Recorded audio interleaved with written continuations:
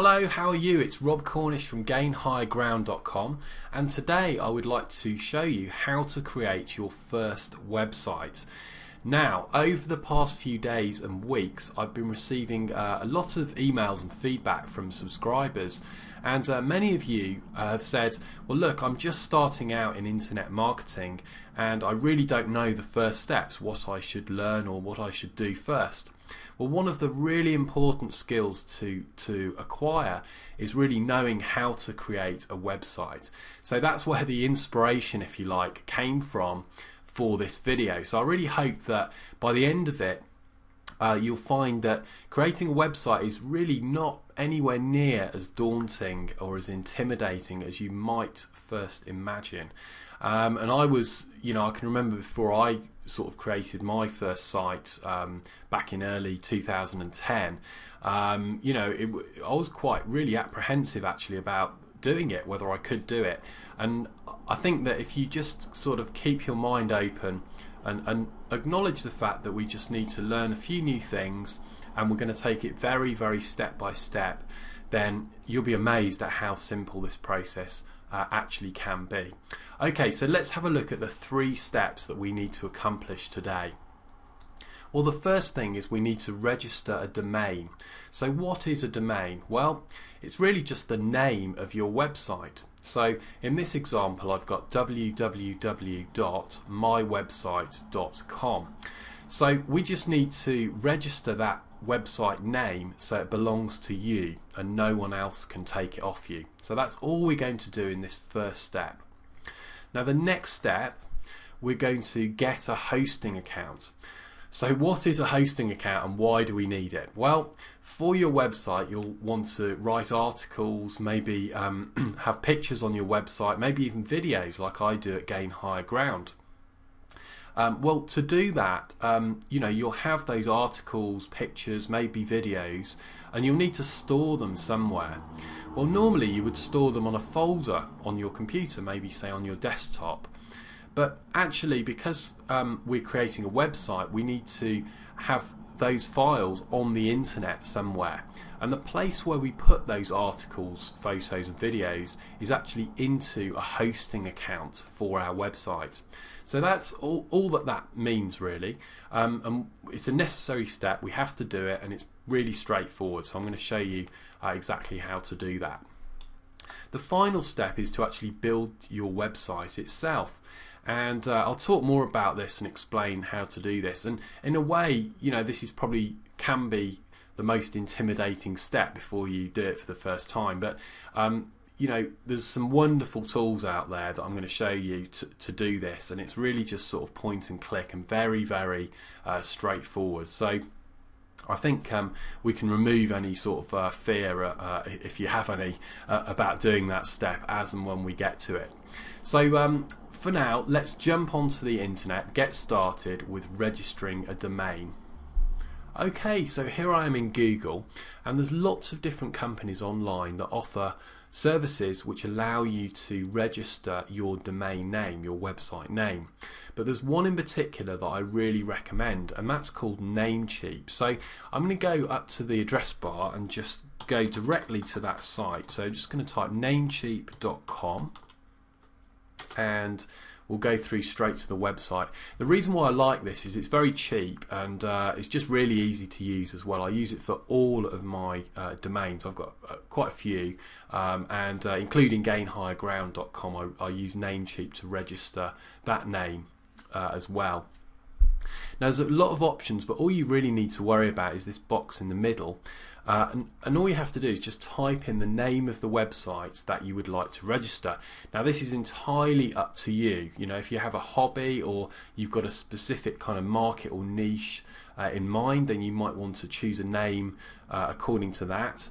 Um, or if it's just a personal site, uh, then you might want to uh, just put your own name in there if you like. So it's really up to you. But I would like to register um, robcornish.com. See, we've got .com here.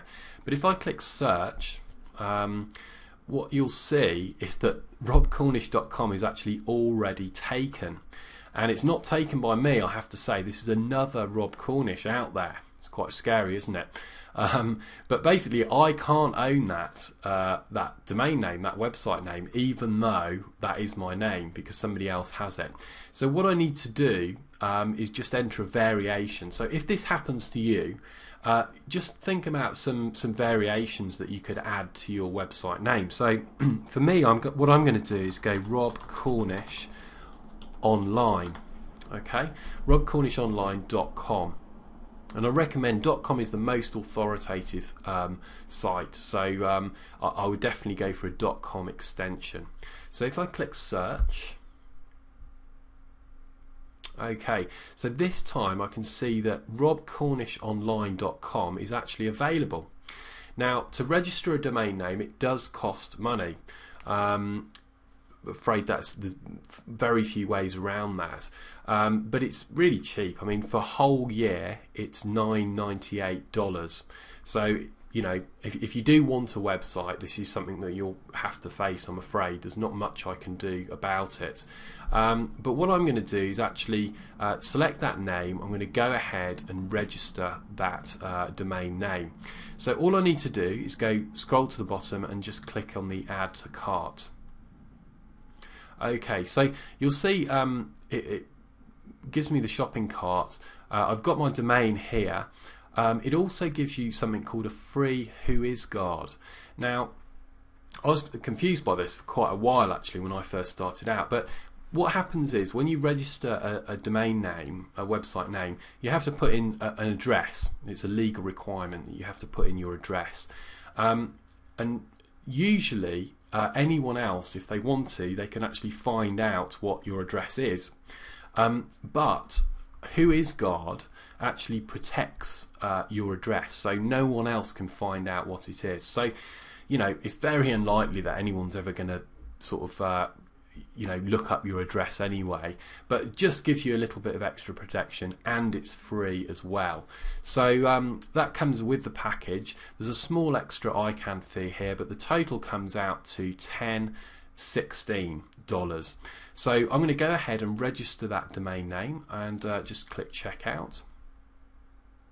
Okay so this is where you have to if you haven't used this before, then you need to create your account. And if you've already got an account like I have, then uh, you just enter your username and password. So I'm not going to go through these steps. I think it's pretty straightforward. Um, so you need to create your account and then go forward and pay checkout uh, for, for your website name.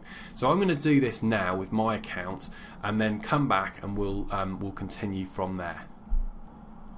Okay, so I've entered my details and I'm through to this page here, which has just got a few options on it. So I just wanted to tell you about these. Firstly, enable Whoisguard. You want to check check that so your contact details and like I said your address is protected no one can access it and um, there's something called name server settings. We'll come to this in a minute. It's very straightforward but for now just accept this option which is uh, use our free name servers and we'll change that later on. And um, that's it really. So then just click next step. And in the payment options you can just go forward and either pay by PayPal if you prefer that or a regular credit card okay so it's exciting stuff because I'm now the owner of robcornishonline.com now if you're following uh, along as well with me then I hope that you're transaction there just went through uh, just as well as mine did.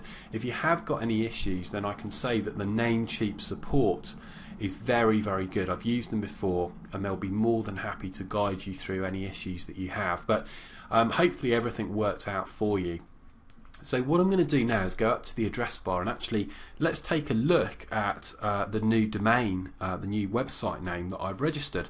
So if I just do Rob Cornish uh, and we'll just uh, go and have a look.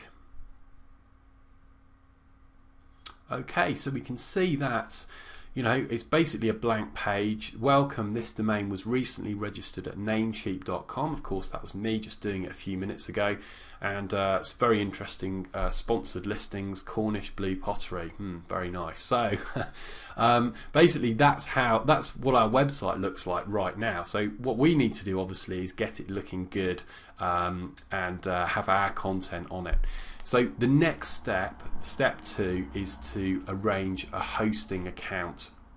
So again, I'm going to make a recommendation for you here. There's lots and lots of different companies uh, that you can go with for hosting, and it's entirely up to you. You can research this and, and, and choose whoever you like. It's really up to you. But the one I use personally for all of my domains and um, uh, the one I recommend to you is called HostGator. So uh, I'm going to go to that, hostgator.com. And when you arrive at the HostGator site, the first thing I recommend is just click on this View Web Hosting Plans. So let's go and take a look at that. And uh, it's there's three choices really. I recommend that you, unless you're really ambitious, uh, then I recommend that you don't uh, even consider the business plan. The choice really is between a hatchling plan and a baby plan. Um, the only differences are that the hatchling plan just allows you one website, so it's only a single domain. Okay, that costs 3.96 per month. So again, you know, there's cost involved here, but uh, HostGator is one of the cheaper options, and uh, I think their support and the whole service is really good. So that's why I'm recommending it to you.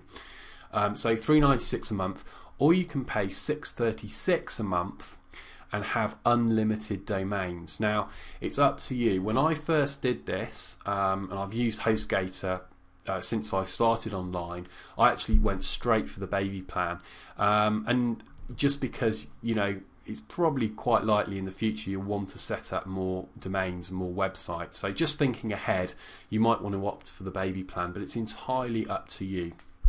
So all you need to do is just go to order now and you've got a choice. You can actually HostGator does allow you to register new domains, but we've already done that at Namecheap. So I currently have a domain here and you enter the domain name. So I'm just going to type in robcornishonline.com and continue to step two. Okay, so again, we're back at the uh, kind of billing information page. Obviously, need to uh, if it's your first time, you need to uh, uh, set up an account with HostGator. So just fill out the information. I already have an account here, as you know. So I'll leave you to do this if you're following along, and um, I'll see you in a minute uh, when I've uh, logged into my account.